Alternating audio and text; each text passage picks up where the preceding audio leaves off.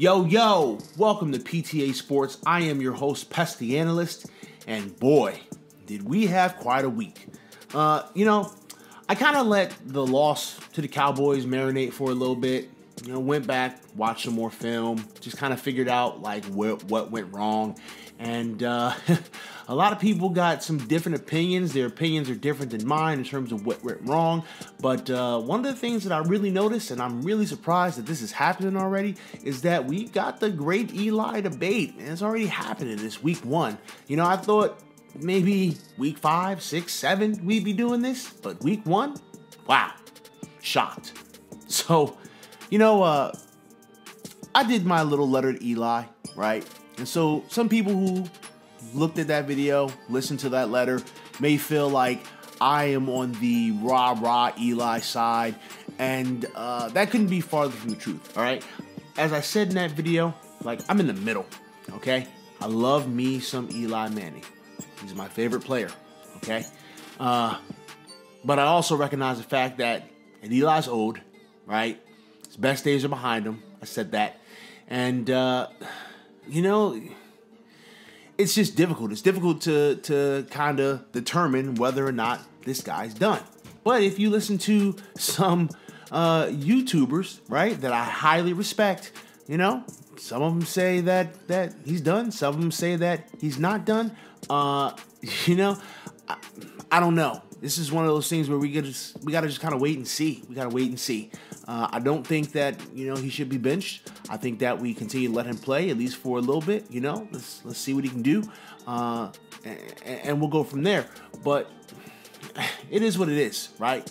Uh, we all know that it's gonna be difficult for Eli to go out there and ball out every week against some of these defenses that we're gonna face, right? And uh, we knew that he wasn't going to ball out against Dallas. So listen, it is what it is.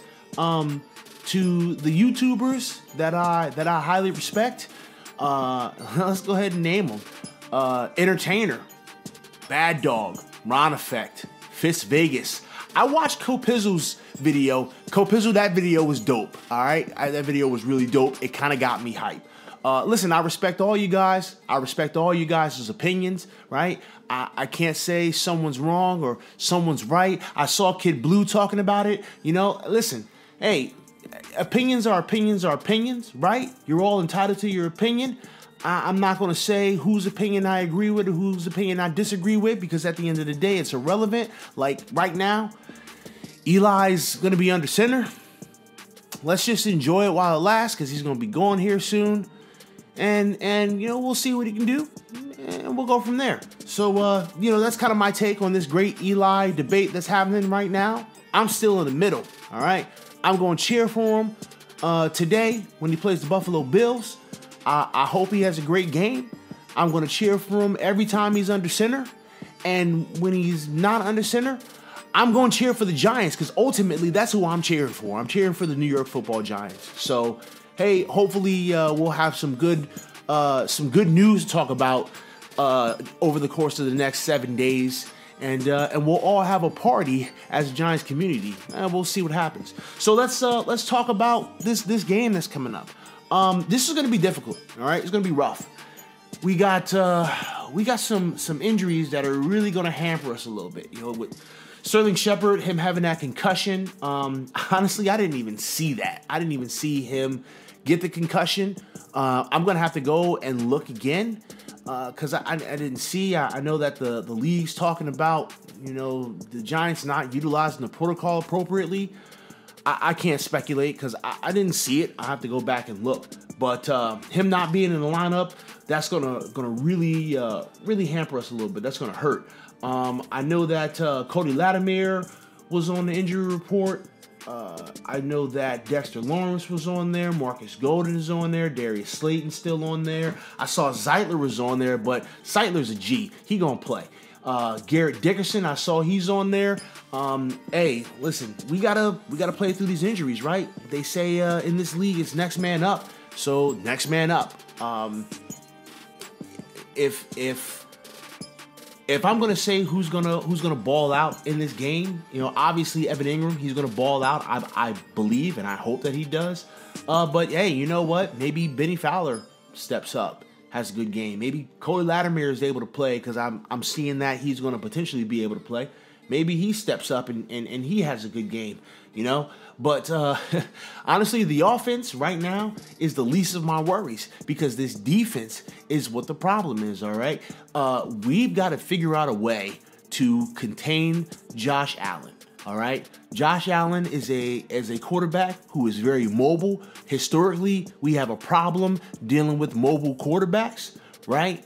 And uh, and that that's gonna have to be our focus is getting pressure on Josh Allen, right? Uh, keeping him contained, keeping him in the pocket, making him uncomfortable. Like that, that's what we're gonna have to do. Unfortunately, I don't really know where the pass rush is gonna be coming from. Um, you know, I'm really high on on Lorenzo Carter. I'm really high on Oshane Ximines. Uh, you know, hopefully one of those two guys step up, right, and and put some pressure on the quarterback. Maybe get a sack. Maybe I don't know. You know, like I don't I don't know. Hopefully that that we can accomplish. You know, at least pressuring the quarterback and making him uncomfortable.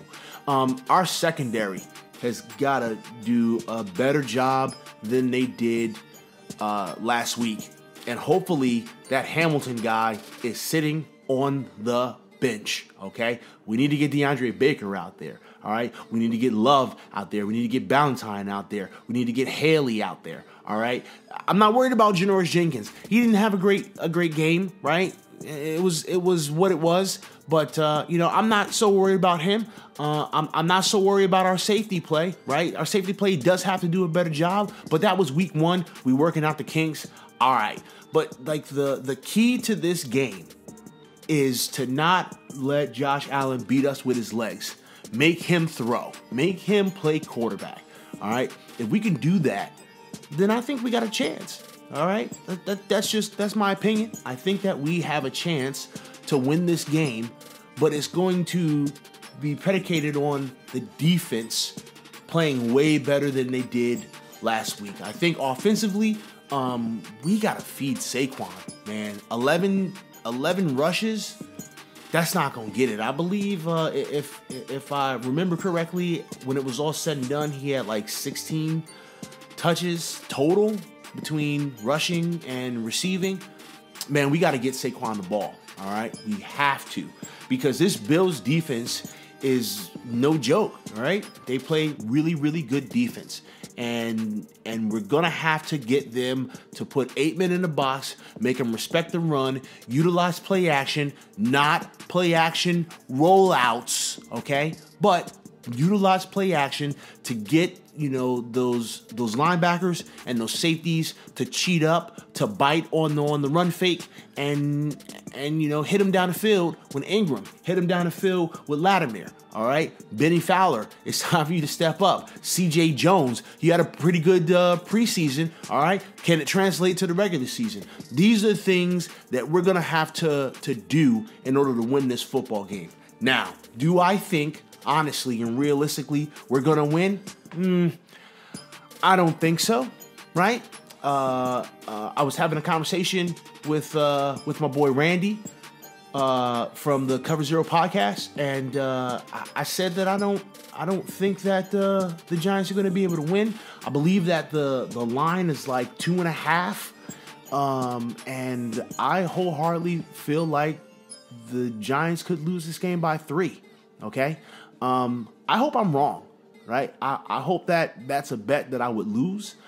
Um, but I, I can't say that I'm like super confident right now in this team to go out there and be able to, to beat the Bills this week. I, I'm just, I'm not super confident. All right. But could we pull this one off? Absolutely. We absolutely could. And I hope that we do. So, with that said, uh, I appreciate you guys from coming and checking out my video. All right. Please like, uh, subscribe, share, let your friends know. Tell everybody about PTA Sports. Let's go, Giants. Let's have a good game. All right, y'all. Deuces.